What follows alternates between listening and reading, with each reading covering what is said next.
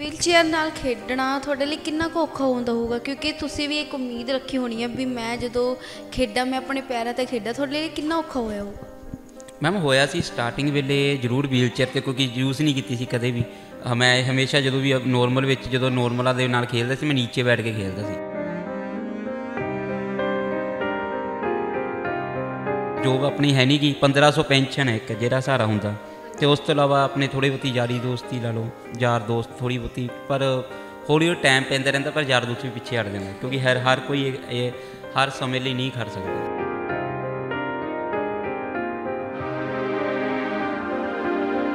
ਇਹ ਕਿ ਹੈਂਡੀਕੈਪ ਬੰਦੇ ਨੂੰ ਉਹਦੇ ਯੋਗਤਾ ਦੇ ਅਨੁਸਾਰ ਉਹਨੂੰ ਨੌਕਰੀ ਦਿੱਤੀ ਦੇ ਦਿੱਤੀ ਜਾਵੇ। ਨਹੀਂ, ਨੌਕਰੀ ਨਹੀਂ ਦੇ ਸਕਦੇ ਤਾਂ ਆਪਣੇ ਈ ਰਿਕਸ਼ਾ ਨੇ ਇਹਨਾਂ ਨੇ ਲਿਆ- ਸਰਕਾਰ ਨੇ ਲੇਡੀਜ਼ ਨੂੰ ਵੰਡੀਆਂ ਸੀਗੀਆਂ ਨੋਰਮਲ ਲੇਡੀਜ਼ ਨੂੰ ਦਿੱਤੀਆਂ ਸੀਗੀਆਂ।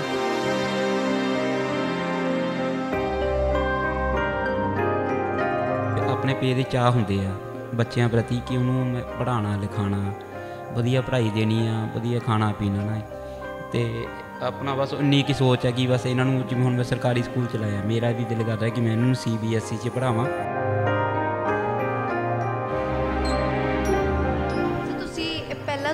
ਤੋਂ ਹੀ। ਸਟਾਰਟਿੰਗ ਤੋਂ ਬਚਪਨ ਤੋਂ ਹੀ। ਹਾਂਜੀ ਮੈਂ ਬਚਪਨ ਤੋਂ ਹੀ ਪੋਲੀਓ ਹੋਈ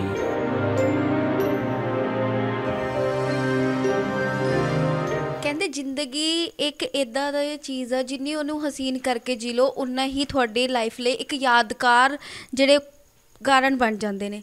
ਸਤਿ ਸ਼੍ਰੀ ਅਕਾਲ ਤੁਸੀਂ ਦੇਖ ਰਹੇ ਹੋ ਤਾਂ ਸਿਟੀ ਹੈਡਲਾਈਨ ਮੈਂ ਨੇਹਾ ਮਲਿਕਸ ਤੁਹਾਡੇ ਨਾਲ ਦੱਸਦੀ ਹੈ ਕਿ ਅੱਜ ਅਸੀਂ ਤੁਹਾਨੂੰ ਇੱਕ ਇਦਾਂ ਦੇ ਸ਼ਖਸ ਨਾਲ ਮਿਲਵਾਉਣ ਜਾ ਰਹੇ ਗੱਲਬਾਤ ਕਰਵਾਉਣ ਜਾ ਰਹੇ ਜਿਹਨੂੰ ਤੁਸੀਂ ਦੇਖ ਕੇ ਭਾਵੁਕ ਤਾਂ ਜ਼ਰੂਰ ਹੋਵੋਗੇ ਪਰ ਨਿਰਾਸ਼ ਨਹੀਂ ਹੋਵੋਗੇ।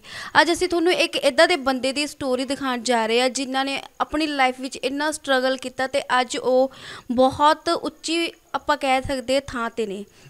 ਤੇ ਆਈਏ ਉਹਨਾਂ ਨਾਲ ਗੱਲਬਾਤ ਕਰਦੇ ਤੇ ਤੁਹਾਡੇ ਵੀ ਕਰਾਉਂਦੇ ਆ ਸਤਿ ਸ਼੍ਰੀ ਅਕਾਲ ਸਰ। ਸਤਿ ਸ਼੍ਰੀ ਅਕਾਲ ਮੈਮ ਸਰ ਤੁਹਾਡਾ ਨਾਂ ਕੀ ਹੈ? ਪਵਨ ਕੁਮਾਰੀ। ਪਵਨ ਕੁਮਾਰ ਜੀ ਤੁਹਾਡੇ ਜੇ ਗੱਲ ਕੀਤੀ ਜਾਵੇ ਤੁਹਾਡੇ ਬਾਰੇ, ਤਾਂ ਤੁਸੀਂ ਪਹਿਲਾਂ ਸਭ ਤੋਂ ਪਹਿਲਾਂ ਆਪਣੇ ਬਾਰੇ ਕੁਝ ਦੱਸੋ। ਆਪਣੇ ਬਾਰੇ ਮੈਂ ਮੈਂ ਇਹ ਦੱਸਣਾ ਚਾਹੁੰਦਾ ਕਿ ਇੱਕ ਮੈਂ ਨੈਸ਼ਨਲ ਪੰਜਾਬ ਜਿਹੜੀ ਆਪਣੀ ਵੀਲਚੇਅਰ ਕ੍ਰਿਕਟ ਟੀਮ ਆ, ਉਹਦੇ ਵਿੱਚ ਮੈਂ ਐਜ਼ ਏ ਬੋਲਰ ਖੇਲਦਾ ਜੀ। ਤੇ 6 ਸਾਲ ਹੋ ਗਏ ਮੈਨੂੰ ਖੇਲਦੇ ਨੂੰ, ਤੇ ਹੁਣੀ ਹਾਲ ਹੀ ਦੇ ਵਿੱਚ ਨੈਸ਼ਨਲ ਅਤੇ ਮੈਂ ਥਰਡ ਨੈਸ਼ਨਲ ਹੋਇਆ, ਮੈਂ ਸੈਕੰਡ ਨੈਸ਼ਨਲ ਦੇ ਅਸੀਂ ਜਿੱਤ ਕੇ ਆਏ ਸੀਗੇ। ਉਦੋਂ ਪੰਜਾਬ ਟੀਮ ਜਿੱਤੀ ਸੀ ਸਾਡੀ। ਤੇ ਚਲੋ ਐਤਕੀ ਹਾਰ ਜਿੱਤ ਇੱਕ ਹਿੱਸਾ ਹੁੰਦਾ ਆ ਥਰਡ ਨੈਸ਼ਨਲ ਕੋਈ ਯੂਪੀ ਵਾਲੇ ਜਿੱਤ ਕੇ ਲੈ ਗਏ। ਬਿਲਕੁਲ ਬਿਲਕੁਲ। ਤੇ ਹਾਂਜੀ ਆਪਣੇ ਗਵਾਲੀਅਰ ਜਾ ਕੇ ਆਏ ਆ ਟੂਰਨਾਮੈਂਟ ਜਿਹੜੇ ਖੇਲੇ ਆ। ਬਿਲਕੁਲ ਕੀ ਬਾਤ ਹੈ। ਸਰ ਜਿਹੜੀ ਇਹ ਤੁਸੀਂ ਖੇਡਣ ਦੀ ਨੈਸ਼ਨਲ ਲੈਵਲ ਦੀ ਗੱਲ ਹੋ ਰਹੀ ਹੈ ਸਰ ਇਹ ਤੁਸੀਂ ਕਦੋਂ ਤੋਂ ਸ਼ੁਰੂ ਕੀਤੀ ਸੀ? ਇਹ ਜੀ ਮੈਂ ਕੀਤੀ ਆ ਆਪਣੇ 2017 18 ਅ, 16 17 ਦੇ ਵਿੱਚ ਕੀਤੀ ਸੀ। ਤੇ 6 ਸਾਲ ਹੋ ਗਏ ਹਾਂਜੀ ਇੰਨਾ ਕਿ 16 17 ਦੇ ਵਿੱਚ ਹੋ ਗਈ ਸੀ ਆਪਣੀ ਸਟਾਰਟਿੰਗ ਸਰ ਇਹ ਸ਼ੌਂਕ ਤੁਹਾਨੂੰ ਕਦੋਂ ਤੋਂ ਪਿਆ? ਵੀ ਆਪਾਂ ਨੈਸ਼ਨਲ ਲੈਵਲ ਖੇਡਣਾ, ਇੱਕ ਇੱਕ ਲਾਈਕ ਇੱਕ ਮਤਲਬ ਕਿ ਜੇ ਆਪਾਂ ਕਹਿ- ਗੱਲ ਕਰੀਏ ਕ੍ਰਿਕਟ ਬਾਰੇ, ਇਹ ਤੁਹਾਨੂੰ ਸ਼ੌਂਕ ਕਦੋਂ ਤੋਂ ਤੇ ਕਿੱਥੋਂ ਤੋਂ ਪਿਆ? ਇਹ ਮੈਮ ਸ਼ੌਕ ਤਾਂ ਜੀ ਮੈਨੂੰ ਸ਼ੁਰੂ ਤੋਂ ਹੀ ਆ ਜੀ। ਮੈਂ ਬਚਪਨ ਤੋਂ ਖੇਡਦਾ ਆ ਰਿਹਾ। ਤੇ ਟੂਰਨਾਮੈਂਟ ਕਰਾਉਂਦਾ ਹੁੰਦਾ ਸੀ ਜਿਵੇਂ ਨੋਰ ਆਪਣੇ ਹੁੰਦੇ ਆ ਟੂਰਨਾਮੈਂਟ ਮੈਂ ਟੀਮਾਂ ਟੀਮਾਂ ਇਕੱਠੀਆਂ ਕਰਨੀਆਂ। ਤੇ ਖੁਦ ਵੀ ਖੇਡਦਾ ਹੁੰਦਾ ਸੀ। ਮੈਂ ਆਪਣੀ ਟੀਮ ਨੂੰ ਖੁਦ ਲੀਡ ਕਰ ਦਿੰਦਾ ਸੀਗਾ। ਸਰ ਕਿੰਨਾ ਕੁ ਸਟਰਗਲ ਕਰਨਾ ਪਿਆ ਤੁਹਾਨੂੰ ਇੱਥੇ ਤੱਕ ਪਹੁੰਚਣ ਲਈ? ਮੈਮ ਸਟਰਗਲ ਤਾਂ ਕਰਨਾ ਪੈਂਦਾ ਜੀ। ਚਲੋ ਇਹ ਸੀਗਾ ਜੀ ਮੇਰੀ ਦੁਕਾਨ ਹੁੰਦੀ ਸੀਗੀ। ਢੋਲਿਆ ਚੌਂਕ ਦੇ ਵਿੱਚ ਹੀ ਸੀਗੀ। ਛੋਟਾ ਮੋਟਾ ਮੈਂ ਆਪਣਾ ਕੰਮ ਕਰਦਾ ਸੀਗਾ। ਕਿਸ ਚੀਜ਼ ਦਾ ਕੰਮ ਸੀ ਸਰ ਤੁਹਾਡਾ? ਮੈਂ ਪਾਨ ਵਗੈਰਾ ਦਾ ਆਪਣਾ ਸੀਗਾ। ਉਹਨਾਂ ਦਾ ਕੰਮ ਉਹਦਾ ਕੰਮ ਕਰਦਾ ਸੀ। ਉੱਥੇ ਮੈਨੂੰ ਮੇਰੇ ਨਾਲ ਦੇ ਜਿਹੜੇ ਪਲੇ ਜਿਹੜੇ ਪਲੇਅਰ ਸੀਗੇ ਆਪਣੇ ਉਹਨਾਂ ਨੇ ਮੈਨੂੰ ਦੱਸਿਆ ਸੀ ਕਿ ਕਿ ਉਹ ਕਿਸੇ ਟਾਈਮ ਹੋਸਟਲ ਵਿੱਚ ਉਹਨਾਂ ਦੇ ਨਾਂ ਰਿਹਾ ਸੀ। ਉਹਨਾਂ ਨੇ ਖੇਲਦੇ ਹੋਏ ਵੀ ਦੇਖਿਆ ਸੀਗਾ। ਤੇ ਉਹ, ਉਹਨਾਂ ਨੇ ਮੈਨੂੰ ਦੱਸਿਆ ਇਸ ਬਾਰੇ ਕਿ ਪੰਜਾਬ ਵੀਲਚੇਅਰ ਕ੍ਰਿਕਟ ਟੀਮ ਆ। ਤੇ ਉਹਨਾਂ ਨੇ ਮੈਨੂੰ ਉੱਥੇ ਟ੍ਰਾਇਲ ਦੇ ਵਿੱਚ ਬੁਲਾਇਆ ਬੋਲਿੰਗ ਕਰਕੇ ਦਿਖਾਈ। ਉੱਥੋਂ ਦੇ ਉਹਨਾਂ ਨੇ ਸਿਲੈਕਟਰ ਨੇ ਮੈਨੂੰ ਕਿਹਾ, ਉਹਨਾਂ ਨੇ ਫਿਰ ਮੈਨੂੰ ਹੌਲੀ ਹੌਲੀ ਟੀਮ 'ਚ ਲਿਆ। ਤੇ ਆਪਾਂ ਪਰਫਾਰਮੈਂਸ ਵੀ ਦਿਖਾਈ ਇੱਕ ਅੱਧੇ ਮੈਚ 'ਚ। ਸਰ ਵੀਲਚੇਅਰ ਨਾਲ ਖੇਡਣਾ ਤੁਹਾਡੇ ਲਈ ਕਿੰਨਾ ਕੁ ਔਖਾ ਹੁੰਦਾ ਹੋਊਗਾ? ਕਿਉਂਕਿ ਤੁਸੀਂ ਵੀ ਇੱਕ ਉਮੀਦ ਰੱਖੀ ਹੋਣੀ ਹੈ ਵੀ ਮੈਂ ਜਦੋਂ ਖੇਡਾਂ, ਮੈਂ ਆਪਣੇ ਪੈਰਾਂ ਤੇ ਖੇਡਾਂ, ਤੁਹਾਡੇ ਲਈ ਕਿੰਨਾ ਔਖਾ ਹੋਇਆ ਹੋਊਗਾ? ਮੈਮ ਹੋਇਆ ਸੀ ਸਟਾਰਟਿੰਗ ਵੇਲੇ ਜ਼ਰੂਰ ਵੀਲਚੇਅਰ ਤੇ ਕਿਉਂਕਿ ਯੂਜ਼ ਨਹੀਂ ਕੀਤੀ ਸੀ ਕਦੇ ਵੀ। ਮੈਂ ਹਮੇਸ਼ਾ ਜਦੋਂ ਵੀ ਨੋਰਮਲ ਵਿੱਚ ਜਦੋਂ ਨੋਰਮਲਾਂ ਦੇ ਨਾਲ ਖੇਲਦਾ ਸੀ ਮੈਂ ਨੀਚੇ ਬੈਠ ਕੇ ਖੇਲਦਾ ਸੀ। ਨੀਚੇ ਬੈਠ ਕੇ ਖੇਲਣਾ ਚਾਹੇ ਧੁੱਪ ਹੋਵੇ ਚਾਹੇ ਸਰਦੀ ਹੋਵੇ ਜਿੱਦਾਂ ਮਰਜ਼ੀ ਥੱਲੇ ਬੈਠ ਕੇ ਖੇਲਦੇ ਸੀ ਤੇ ਆਪਾਂ ਨੂੰ ਮਹਿਸੂਸ ਵੀ ਨਹੀਂ ਹੁੰਦਾ ਕਿਉਂਕਿ ਇੱਕ ਕਰੇਜ਼ ਸੀਗਾ।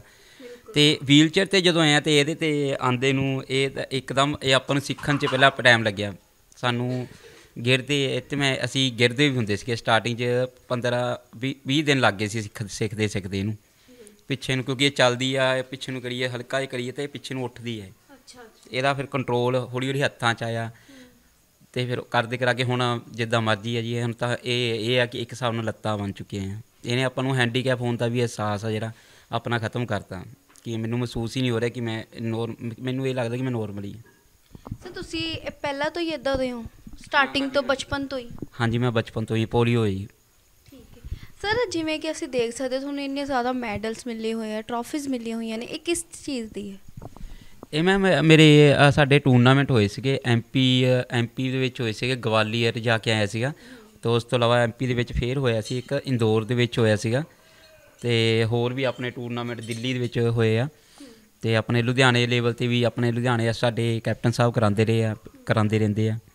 ਉਹ ਕੋਈ ਨਾ ਕੋਈ ਇਵੈਂਟ ਹਰੇਕ ਟੀਮ ਨੂੰ ਬੁਲਾ ਕੇ ਇੱਥੇ ਜਿਵੇਂ ਪਾਰਟਿਸਿਪੇਟ ਕਰਕੇ ਉਹਨਾਂ ਦੇ ਵਿੱਚ ਆਪਣੇ ਆ ਜਿਵੇਂ ਜਿੱਤੇ ਜਿੱਤ ਦੇ ਮੈਡਲ ਨੇ ਆਪਣੇ। ਸਰ ਜਿਵੇਂ ਤੁਸੀਂ ਕਿਹਾ ਵੀ ਤੁਸੀਂ ਐਮਪੀ ਜਾ ਕੇ ਆਏ ਹੋ ਗਵਾਲੀਅਰ ਜਾ ਕੇ ਆਏ ਹੋ ਠੀਕ ਹੈ।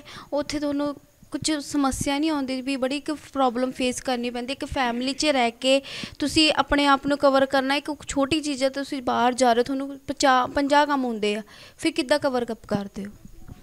ਮੈਮ ਇਹ ਔਖਾ ਹੁੰਦਾ ਹੈ ਹੈਗਾ ਤਾਂ ਕੰਮ ਬਹੁਤ ਔਖਾ ਹੁੰਦਾ ਇਹ।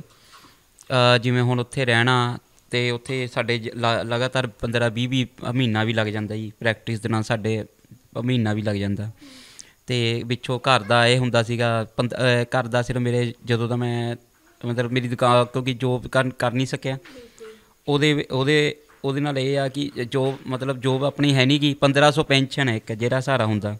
ਤੇ ਉਸ ਤੋਂ ਇਲਾਵਾ ਆਪਣੇ ਥੋੜੀ ਬਹੁਤੀ ਯਾਰੀ ਦੋਸਤੀ ਲਾ ਲਓ, ਯਾਰ ਦੋਸਤ ਥੋੜੀ ਬਹੁਤੀ, ਪਰ ਹੌਲੀ ਹੌਲੀ ਟਾਈਮ ਪੈਂਦਾ ਰਹਿੰਦਾ ਪਰ ਯਾਰ ਦੋਸਤ ਵੀ ਪਿੱਛੇ ਹਟ ਜਾਂਦਾ ਕਿਉਂਕਿ ਹਰ ਹਰ ਕੋਈ ਇਹ- ਹਰ ਸਮੇਂ ਲਈ ਨਹੀਂ ਖੜ ਸਕਦਾ।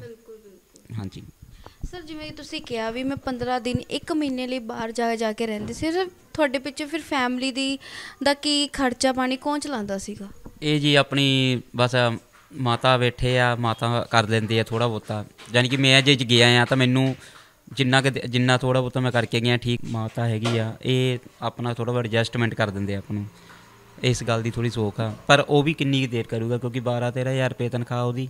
ਭਰਾ ਦੀ ਆ ਮਾਤਾ ਹੀ ਆਪਣੇ ਘਰੇ ਰਹਿੰਦੇ ਆ ਸਿਰਫ ਕਿਰਾਇਆ ਆਉਂਦਾ ਹੈ ਜੀ ਇੱਕ ਅ, ਉਹ ਵੀ ਜਿਹੜੇ ਕਪ- ਕਮਰੇ ਦਾ ਥੋੜਾ ਉਹਨਾਂ ਦੇ ਸਿਰ ਤੇ ਉਹ ਬਿਜਲੀ ਜੋ ਵੀ ਆਪਣਾ ਬਾਕੀ ਖਰਚੇ ਹੁੰਦੇ ਆ ਸਿਲੰਡਰ ਵਗੈਰਾ ਦੇ। ਹਨਾ ਜੀ ਹੋਰ ਵੀ ਬਹੁਤ ਵਾਧੂ ਖਰਚੇ ਹੁੰਦੇ ਆ। ਤੇ ਉਹ ਉਹਦੇ ਬੱਚੇ ਵੀ ਪੜ੍ਹਦੇ ਆ ਭਰਾ ਦੇ ਛੋਟੇ ਦੇ ਵੀ ਪੜ੍ਹਦੇ ਆ। ਉਹ ਕਿੰਨੀ ਕੁ ਦੇਰ ਕਰੂਗਾ? 12000 ਚ ਆਪਦਾ ਹੀ ਖਰਚਾ ਨਹੀਂ ਪੂਰਾ ਹੁੰਦਾ।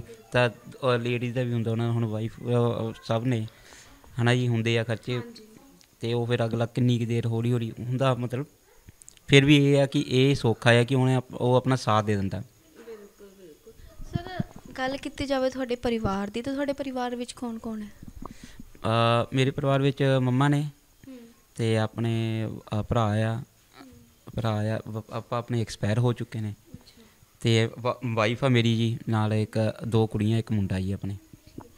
ਵਾਈਫ ਕੁਝ ਕੰਮ ਨਹੀਂ ਕਰਦੇ ਵੀ ਹਾਂ, ਤੁਹਾਨੂੰ ਸਪੋਰਟ ਕਰਨ ਲਈ?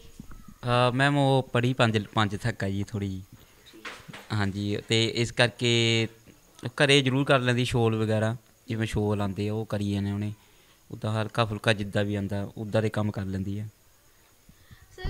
ਜਿਵੇਂ ਹੁਣ ਅੱਜ ਮਹਿੰਗਾਈ ਦਾ ਟਾਈਮ ਆ ਤੁਹਾਨੂੰ ਵੀ ਕਿਹੜੀ ਸਮੱਸਿਆ ਫੇਸ ਕਰਨ ਨੂੰ ਪੈਂਦੀ? ਕਿਉਂਕਿ ਅੱਜ ਕੱਲ ਜਿਹੜੇ ਬੱਚੇ ਦੀ ਗੱਲ ਕਰੀਏ ਉਹ ਵੀ ਹਾਈ ਡਿਮਾਂਡਡ ਨੇ ਠੀਕ ਹੈ? ਤੇ ਘਰ ਦੇ ਤੇ ਘਰ ਦੇ ਘਰ ਦੇ ਖਰਚੇ ਦੀ ਗੱਲ ਕਰੀਏ ਘਰ ਦੇ ਵੀ ਬਹੁਤ ਬਥੇਰੇ ਖਰਚੇ ਨੇ। ਫਿਰ ਤੁਸੀਂ ਸਰ ਕਿੱਦਾਂ ਮੈਨੇਜ ਕਰਦੇ ਹੋ? ਮੈਮ ਉਹੀ ਮੈਂ ਤੁਹਾਨੂੰ ਦੱਸ ਰਿਹਾ ਸੀਗਾ ਕਿ ਇਹ ਆਪਣਾ ਜਿਵੇਂ ਆਪਣੇ ਜਿਹੜੇ ਯਾਰ ਦੋਸਤ ਸੀਗੇ ਉਹ ਉਹਨਾਂ ਹੋਰ ਮਤਲਬ ਕਰਦੇ ਰਹੇ ਵਿੱਚ ਕਿ ਜਿਵੇਂ ਕਿਸੇ ਤੋਂ ਹੈਲਪ ਲੈ ਲਈ।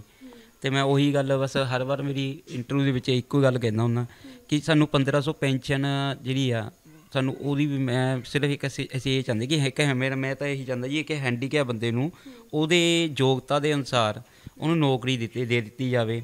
ਨਹੀਂ ਨੌਕਰੀ ਨਹੀਂ ਦੇ ਸਕਦੇ ਤਾਂ ਆਪਣੇ ਈ ਰਿਕਸ਼ਾ ਨੇ, ਇਹਨਾਂ ਨੇ ਲਿਆ- ਸਰਕਾਰ ਨੇ ਲੇਡੀਜ਼ ਨੂੰ ਵੰਡੀਆਂ ਸੀਗੀਆਂ ਨੋਰਮਲ ਲੇਡੀਜ਼ ਨੂੰ ਦਿੱਤੀਆਂ ਸੀਗੀਆਂ ਕਿ ਇੱਕ ਹੈਂਡੀਕੈਪ ਬੰਦੇ ਨੂੰ ਵੀ ਦੇ ਸਕਦੇ ਕਿ ਉਹ ਆਪਣਾ ਆਪਣਾ ਕੰਮ ਕਰ ਸਕਦਾ, ਇੱਕ ਸਾਡੇ ਵਰਗਿਆਂ ਲਈ ਇਹ ਸੌਖਾ ਹੋ ਸਕਦਾ।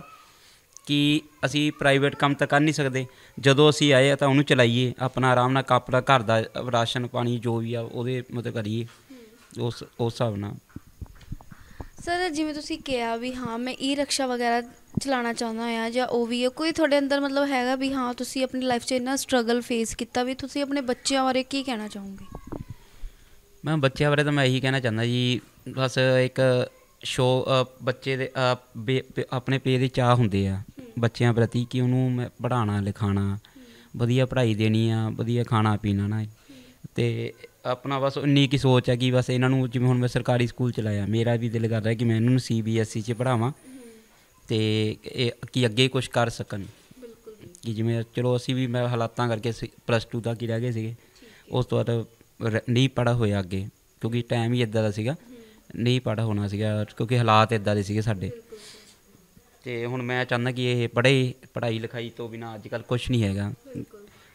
ਤੇ ਉਹੀ ਬਸ ਜੀ ਇਹਦੇ ਸਰ ਤੁਸੀਂ ਇੱਕ ਗੱਲ ਹੋਰ ਪੁੱਛਣਾ ਚਾਹੂੰਗੀ ਆਪਣੇ ਦਰਸ਼ਕਾਂ ਨੂੰ ਜ਼ਰੂਰ ਇਸ ਚੀਜ਼ ਦਾ ਜਵਾਬ ਦੇਣਗੇ ਜੇ ਬੰਦੇ ਦੇ ਅੰਦਰ ਸ਼ੌਂਕ ਆ ਵੀ ਜੋ ਅਸੀਂ ਤੁਹਾਨੂੰ ਦੇਖ ਸਕਦੇ ਆ ਵੀ ਤੁਸੀਂ ਵਧੀਆ ਕਰਕੇ ਤੁਰ ਵੀ ਨਹੀਂ ਸਕਦੇ ਉਹ ਪੂਰਾ ਕਰਨਾ ਚਾਹੀਦਾ ਕਿ ਨਹੀਂ ਪੂਰਾ ਕਰਨਾ ਚਾਹੀਦਾ? ਕਿਉਂਕਿ ਕਈ ਬੰਦੇ ਹੁੰਦੇ ਆਪਣੀ ਜ਼ਿੰਦਗੀ ਤੋਂ ਨਾ ਨਿਰਾਸ਼ ਹੋ ਕੇ ਬਹਿ ਜਾਂਦੇ ਤੁਸੀਂ ਉਹਨਾਂ ਲਈ ਕੀ ਕਹਿਣਾ ਚਾਹੋਗੇ?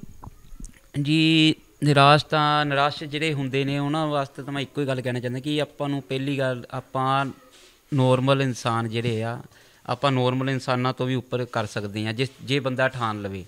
ਇੱਕ ਜਜ਼ਬਾ ਹੋਣਾ ਚਾਹੀਦਾ। ਹਰੇ ਕੋਈ ਬੰਦਾ ਇਹ ਹੈਂਡੀਕੈਪ ਨਹੀਂ ਹੁੰਦਾ।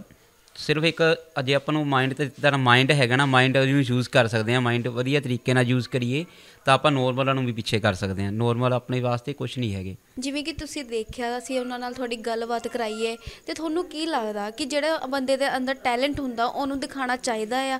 ਕਿ ਅੱਜ ਅਸੀਂ ਤੁਹਾਨੂੰ ਇੱਕ ਲਾਈਵ ਐਗਜ਼ਾਮਪਲ ਦਿਖਾਈ ਹੈ ਕਿ ਬੰਦੇ ਇੱਕ ਹੈਂਡੀਕੈਪ ਦਾ ਹੋਣ ਦੇ ਨਾਲ ਵੀ ਉਹਨੇ ਆਪਣੇ ਫੈਮਿਲੀ ਕਿੰਨੇ ਵਧੀਆ ਤਰੀਕੇ ਨਾਲ ਚਲਾ ਰਿਹਾ, ਉਹਨੂੰ ਕਿੰਨੀ ਕੁ ਪ੍ਰੋਬਲਮ ਪੈ ਰਹੀ ਹੈ ਬਟ ਉਹਨੇ ਫਿਰ ਵੀ ਆਪਣੇ ਅੰਦਰ ਦਾ ਜਿਹੜਾ ਸ਼ੌਂਕ ਆ ਟੈਲੈਂਟ ਆ, ਉਹ ਨਹੀਂ ਖਤਮ ਕਰਤਾ। ਜੇ ਤੁਹਾਨੂੰ ਵੀ ਇਦਾਂ ਦਾ ਕੁਝ ਟੈਲੈਂਟ ਹੈ ਤੁਹਾਡੇ ਅੰਦਰ ਵੀ ਤੇ ਕਮੈਂਟ ਬਾਕਸ ਵਿੱਚ ਕਮੈਂਟ ਕਰਕੇ ਜਰੂਰ ਦੱਸਿਓ ਤੇ ਹੋਰ ਬਤੇਰੀ ਅਪਡੇਟਸ ਲਈ ਦੇਖਦੇ ਰਹੋ ਤਾਂ ਸਿਟੀ ਹੈਡ ਹੈਡਲਾਈਨ ਮੈਂ ਨੇਹਾ ਮਲਿਕ ਕਰਨ ਕੁਮਾਰ ਨਾਲ।